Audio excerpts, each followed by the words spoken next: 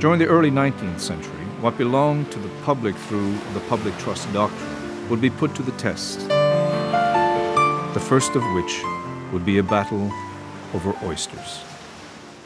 By right of discovery or conquest, per British laws, lands, waters, and the lands under these waters were granted to noblemen by the king. After the American Revolution, the people of each state became themselves sovereign, and in that character now held an absolute right to land, waters, and the wildlife living there. In the New World, we didn't want wildlife to be a privilege of royalty. On the other hand, we didn't know how it could be owned or governed. When we wrote the Declaration of Independence, we didn't declare what ownership of wildlife meant. The young federal government couldn't claim ownership. That's just about like having a king claim it. We needed something different. Who owned what in America would be decided by the Supreme Court, and the result would have lasting implication for every American citizen.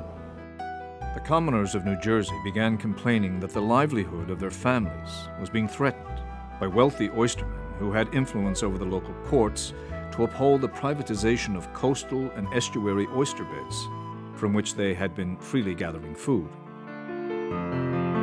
Their plight raised the question whether oyster beds, thriving in the estuaries and inlets of the Atlantic coast, should be common holdings or private property.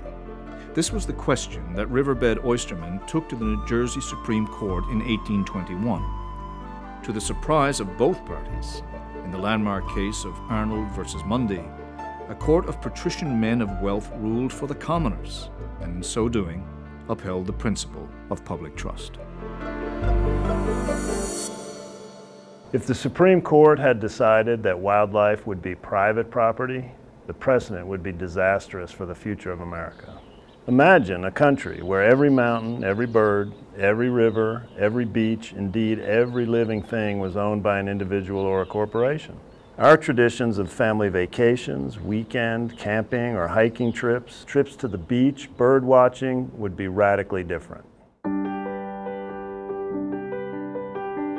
Today, the public trust doctrine refers to a common law doctrine creating the legal right of the public to use certain lands and waters and the wildlife living there.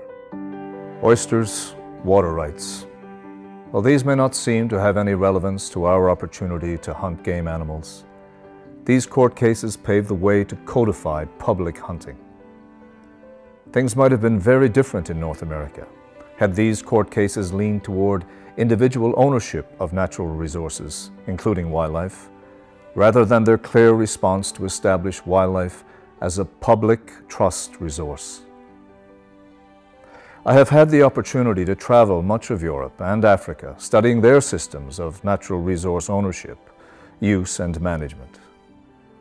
I can honestly tell you that we are truly blessed in North America to have the system we have.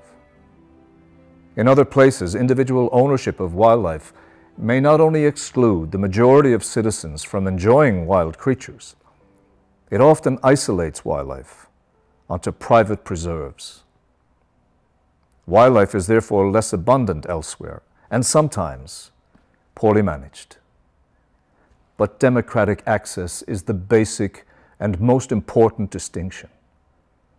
For us to be able to purchase a license and go hunting is a very special thing.